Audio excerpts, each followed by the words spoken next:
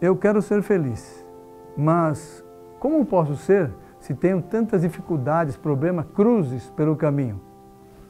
Vamos meditar sobre isso.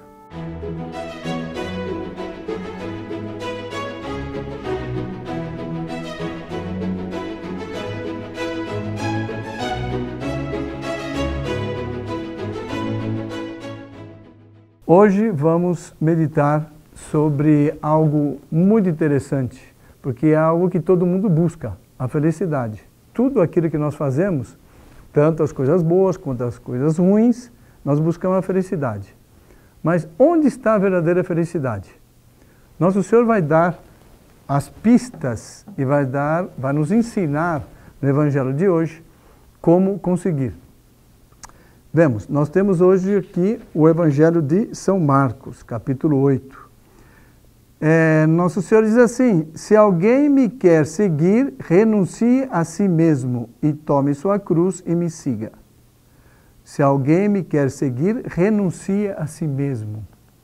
O que é renunciar a si mesmo? É renunciar tudo aquilo que nós levamos dentro de nós, que é o pecado original, os efeitos do pecado original são os defeitos, são os vícios é, que nós acumulamos por uma rotina errada. É, isso é, faz parte do, do renunciar a si mesmo. Depois, as más inclinações, e todos nós temos más inclinações, mas nós temos que renunciar a tudo isso para poder seguir ao nosso Senhor. Tome sua cruz e me siga. Tome sua cruz e me siga. Cada um tem a sua. E não adianta reclamar que é grande, que é pequena, que eu quero uma menor. É a providência que nos deu desde sempre, desde toda a eternidade, ela destinou cruzes, pequenas ou grandes, a cada um de nós, ao longo de nossos dias, ao longo da nossa vida, na família, hum, numa ordem religiosa, em qualquer lugar, nós temos cruzes. Agora, nós devemos enfrentar essas cruzes, nós devemos abraçar essas cruzes com amor, com dedicação, porque cruzes é assim, muitas vezes é uma incompreensão, é um mal entendido, é porque eu estou fazendo bem me perseguem, ou sei lá, tanta coisa que pode acontecer com qualquer um de nós. Isso é tomar a cruz, rezar, pedir forças, porque sem forças divinas sem força de Deus, sem forças que a gente deve pedir a Nossa Senhora, a nosso anjo da guarda, nós não conseguimos levar a cruz e muito menos seguir a nosso Senhor Jesus Cristo. Como vou conseguir isso? Como vamos conseguir isso? Nosso Senhor dá aqui a resposta. Com efeito, de que adianta o homem ganhar o mundo inteiro e perder a própria vida? Que adianta nós ganharmos o mundo então, felizes, sem cruzes.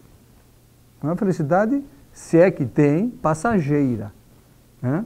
é relativa, porque a felicidade está depois dessa vida. E que adianta eu ganhar o mundo inteiro, ter tudo, ser muito importante, ser conhecido, ser isso, aquilo, aquilo outro, eu venho perder minha alma? Isso é felicidade? Não. De que adianta o homem ganhar o mundo inteiro se perde a própria vida, se perde a própria alma. Aliás, foi uma das frases, certamente o pensamento principal, que eh, levou São Francisco Xavier a converter-se. Santo Inácio, Inácio de Loyola, ali como bom espanhol, ele continuamente dizia, eh, Francisco, que adianta ganhares o mundo se venha perder a sua alma? Então, está aí o caminho. Nós devemos pensar na eternidade. Nós devemos amar as cruzes, porque elas existem e porque Deus quer ou permite. Mas de nossa parte, devemos abraçar, devemos pedir forças e aí nós chegaremos ao céu. Esse pensamento é o segredo da virtude e é a semente da eternidade.